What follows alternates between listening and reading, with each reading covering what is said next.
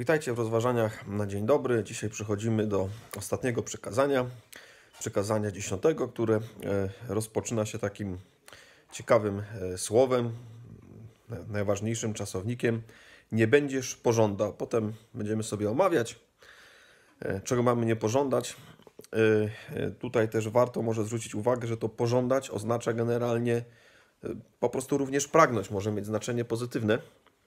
A więc ważne jest to, że pewnych konkretnych rzeczy, a w praktyce rzeczy, które do nas nie należą, są cudzą własnością, nie powinniśmy takich właśnie rzeczy pożądać. Natomiast to, co chciałbym dzisiaj omówić, to taka bardzo ogólna obserwacja, że w tych dziesięciu przekazaniach, zwróćmy uwagę, yy, z których część jest takich bardzo wymiernych, które mogą być w gruncie rzeczy prawem państwowym, już nie wchodząc w to, że oczywiście to były państwo teokratyczne w tym momencie, ale jednak mogłoby być.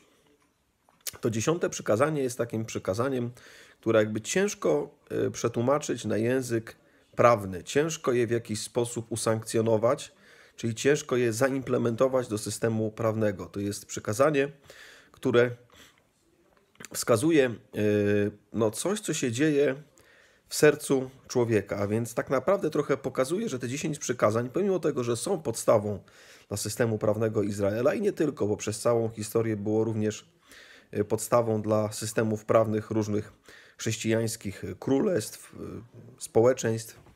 E, ale mimo wszystko to właśnie te 10 przykazań to nie jest tylko i wyłącznie pewien, pewna podstawa dla prawa, jakieś takie kierunki wyznaczające prawo, ale również moralności. I myślę sobie, że to jest bardzo ważne, żeby odróżnić te dwie rzeczy. Szczególnie dzisiaj, kiedy właśnie w takim y, świecie, które, który zaprzecza, zwróćmy uwagę, zaprzecza prawu moralnemu, zaprzecza temu, że istnieją inne normy prócz tych, które my jako ludzie sobie ustanowimy. Y, I tak naprawdę mówi, że jedyne, jedyne zasady, które istnieją, którymi się powinniśmy kierować, to są te zasady, które są zapisane w prawie, e, które my jako ludzie stanowimy, e, e, ten właśnie, to rozróżnienie pokazuje, że tak nie jest. Innymi słowy, że czymś innym jest grzech, a czymś innym jest przestępstwo. Że są pewne grzechy, które są grzechami, które dzieją się w sercu, które są jednoznacznie złe, ale które nie są pod jurysdykcją prawa państwowego, bo po prostu nie mogą być.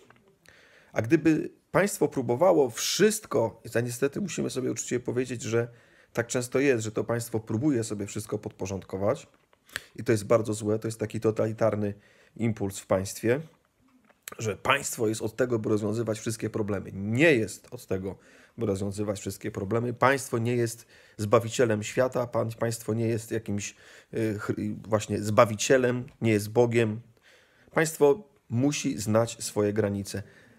Zasób grzechu jest większy niż zasób czy, czy podzbiór zbiór e, tego, co jest przestępstwem.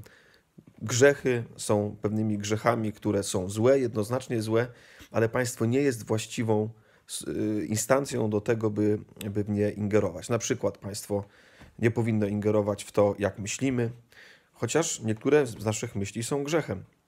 E, państwo nie może nas karać za przekonania, chociaż pewne przekonania są grzechem. E, innymi słowy, wiara, religia, nasze przekonania religijne, nasza etyka jest czymś, co jest znacznie szersze niż to, o czym mówi prawo państwowe. Myślę sobie, że warto o tym dzisiaj pamiętać, dlatego że właśnie próbuje nam się dzisiaj powiedzieć, że, że państwo jest jedynym właściwym, słusznym, kompetentnym i wystarczającym agentem e, właśnie do rozstrzygania o kwestiach dobra i zła, a tak po prostu nie jest.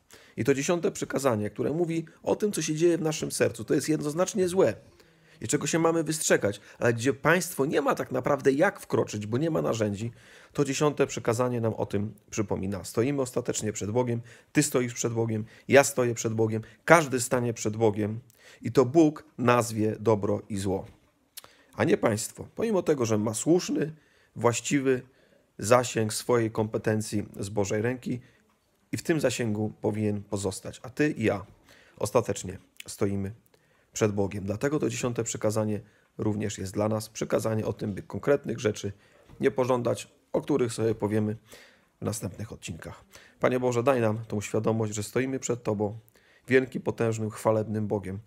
I Panie, dawaj nam pamiętać, że grzech i przestępstwo to są dwie różne rzeczy i, i, i daj nam podchodzić do grzechu bardzo poważnie. Z Bogiem, do zobaczenia.